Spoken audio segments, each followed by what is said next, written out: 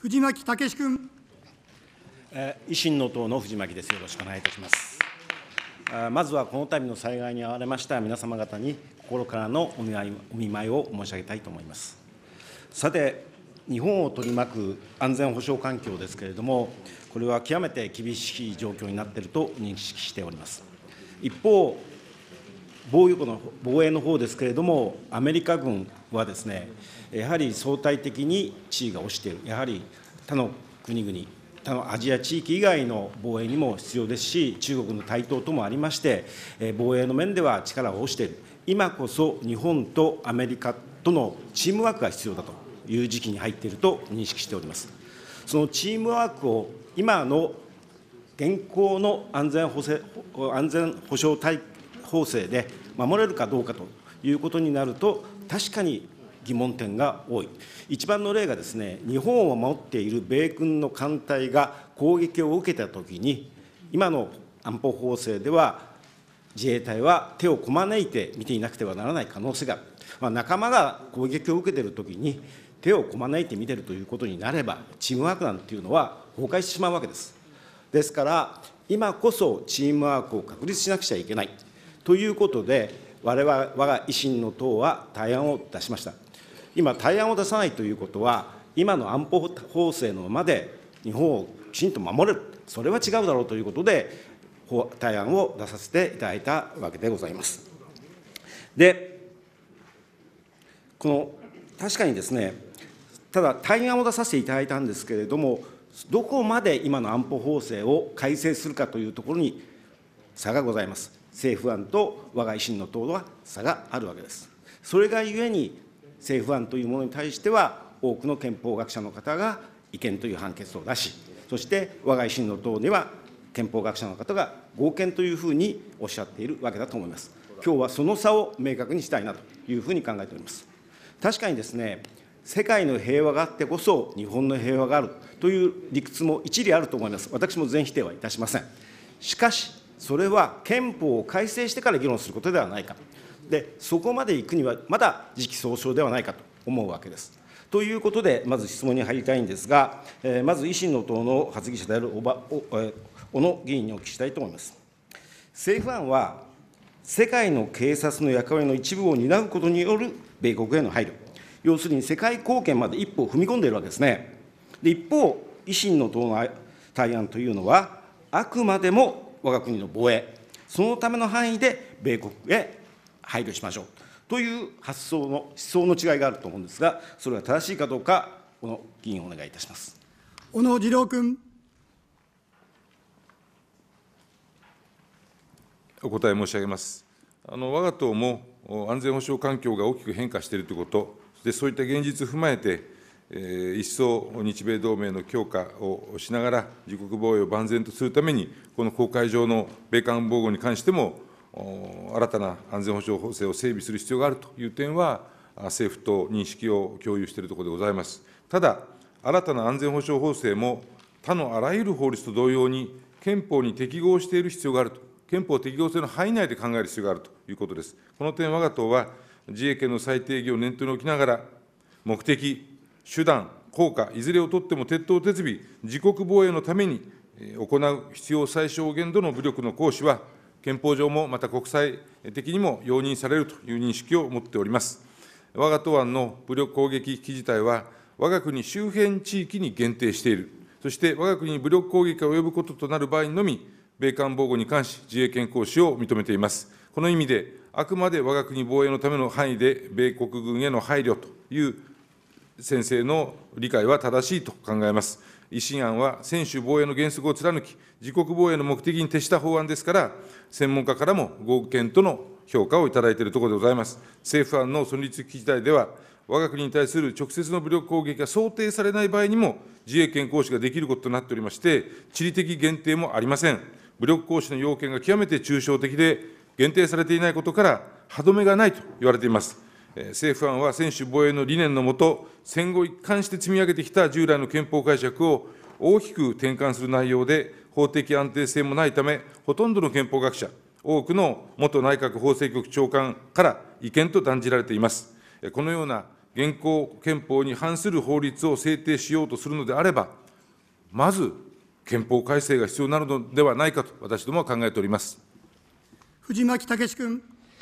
えー確かに70年間、日本が安全であったというのは、当然、平和憲法もそうですけれども、それと同時に日米、えー安保法制、日米安保がですね、えー貢献したんだと思います。ですから、平和憲法を守りつつ、かつ安保同盟のですね、不備な部分を改正するというのは正しい方向ではないかと、私は思っております。で、次に総理にお聞きしたいんですけれども、アメリカ軍の商船、もしくはアメリカ本土が、要するに米国がですね、国が攻撃されたときに、あの米艦隊じゃないですよ、米国が攻撃されたときに、存立危機事態があると政府が判断する場合に、自衛隊は武力行使ができるのでしょうか、お答えいただければと思います。安倍総理大臣。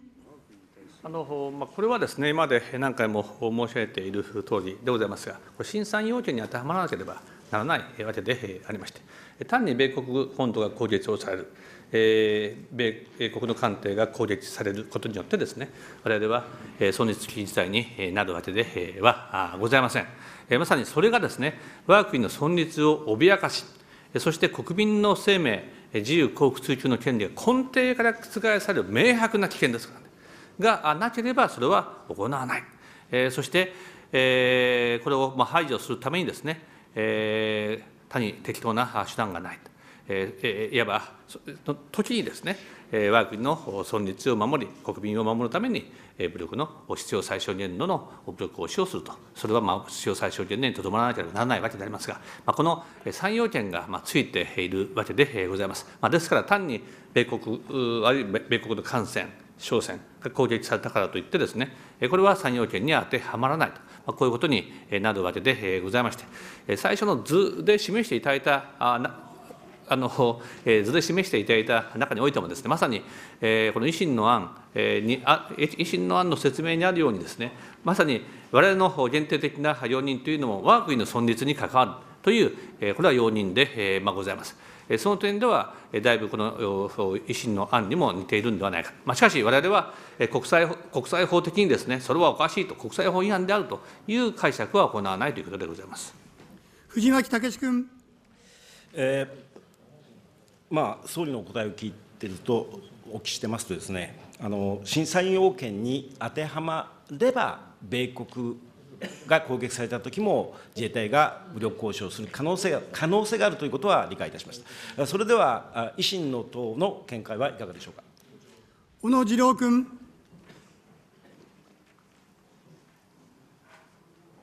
お答え申し上げます。えー我が党の武力攻撃危機事態は、そもそも他国防衛を目的とするものではありません。ですから、私どもの法案では、武力攻撃発生の対象として、米国の商船とか、米国本土などを想定していないことは、法制要件上も明確になっております。え我が党案では、条約に基づくこと、そして我が国周辺の地域において、かつ我が国防衛のために従事している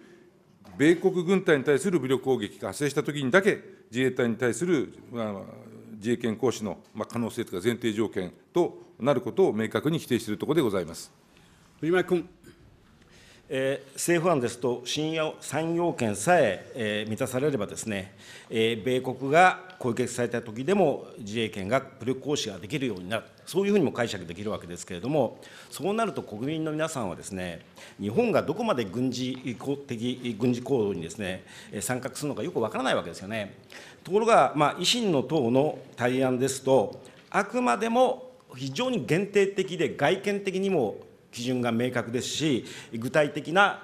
その適用要件というのもはっきりしているかなというふうに思います。で、次にまた維新にお聞きしたいんですけれども、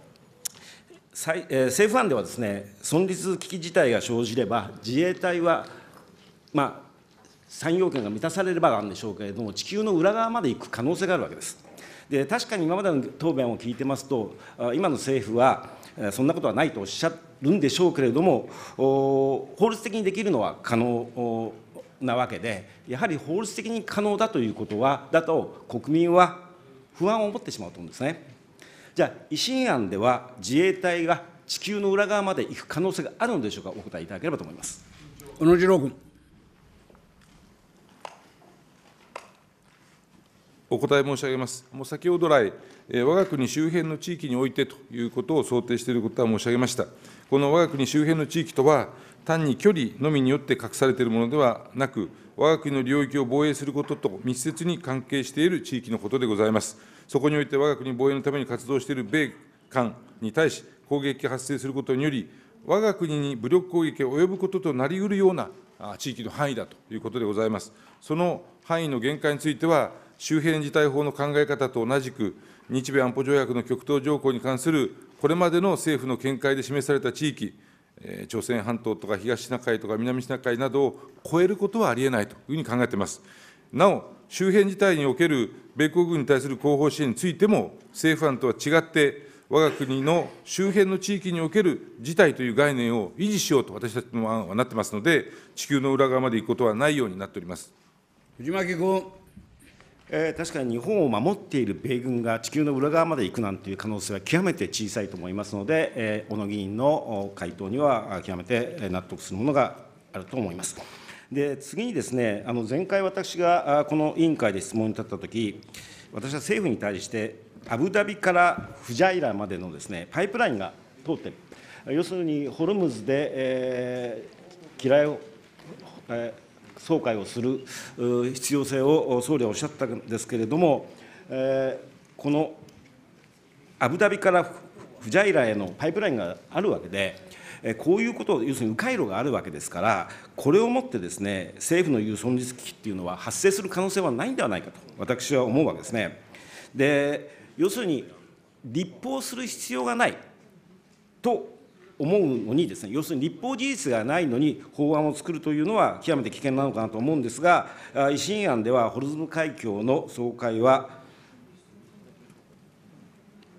立法事実があると考えているのか、そして、えーホルムズ海峡の維新案でホルムズ海峡の総会が可能なのか、お答えいただければと思います。小野君。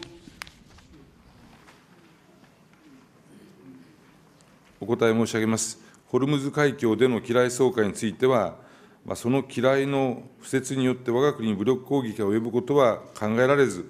ホルムズ海峡はまた我が国に周辺の地域とは当たらないと考えております。そのため、武力攻撃機自体の要件を満たすことはなく、維新案では武力行使として、ホルムズ海峡での機雷総会を行うことはありません。他方、今、あのホルムズ海峡の総会は